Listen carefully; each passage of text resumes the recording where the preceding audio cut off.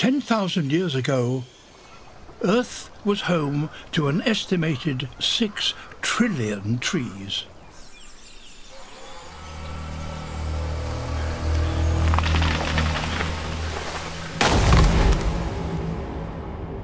By the end of the last century, that number had halved. Our taming of the wild is often regarded as a routine part of humanity's progress.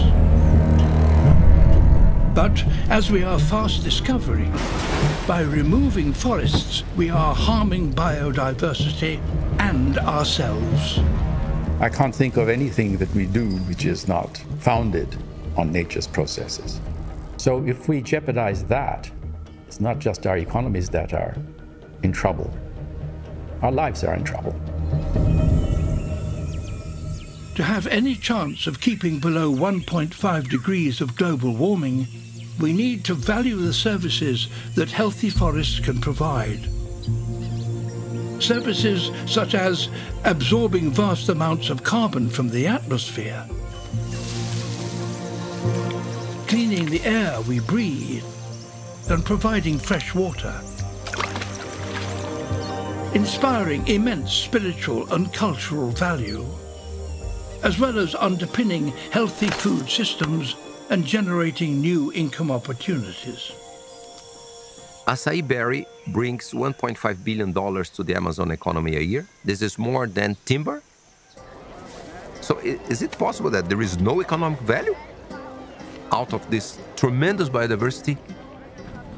Our challenge now must be to halt deforestation and begin restoring forests around the world. And we must do this within the decade, or risk the collapse of forests worldwide. It is a huge undertaking, and every country will need its own tailored approach. Some solutions are already underway. We've realized that to have a healthy economy and a healthy society, we need healthy ecosystems. The payment for environmental services financially rewards landowners, including indigenous communities, for protecting and restoring forests. Now we need to accelerate action on a global scale.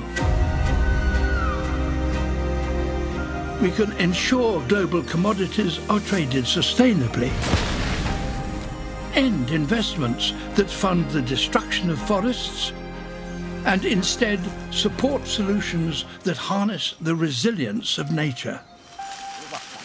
We can empower indigenous people who've lived in harmony with the natural world for millennia to be forest guardians.